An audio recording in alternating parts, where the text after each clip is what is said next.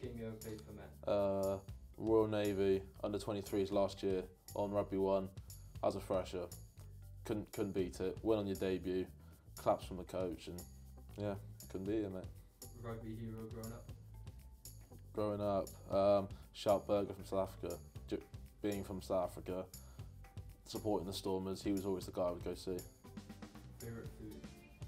Favorite food.